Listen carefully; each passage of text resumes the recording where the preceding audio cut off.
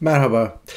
Liderlerin sağlığı konuşulmaya başlandı mı daha da durduramazsınız. Özal'ın, Ecevit'in sağlığı hep konuşulmuştur. Normaldir bu. Burada kişinin özeli gibi bir durum yoktur. Devleti çekip çeviren insanların sağlık durumu kamunun ilgi alanına girer. Halkın detaylı bilgilendirilmesi icap eder. Osmanlı dönemi dahil Türkiye'de bu hiç olmamıştır.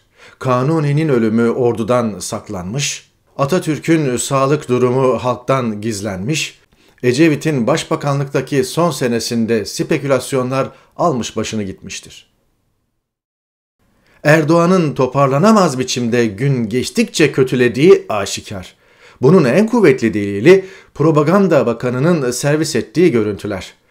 Adım atmadan basketbol oynarken de, gençlerle kağıttan şarkı söylerken de iyi değilim mesajı veriyor.''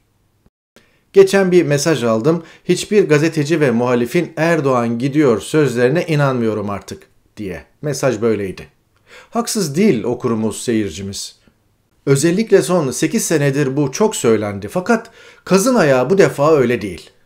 Erdoğan onu orada tutmaya çalışanlara rağmen gidiyor. Ne partisinin erimesini önlemesi ne de ekonomik çöküşü durdurması mümkün. Tıpkı sağlığı gibi. Her yalpaladığında koltuk değneği olanlar bu defa ne yapsa yeterli olmayacak. Ondandır ki Erdoğan sonrasının planları yola çıktı.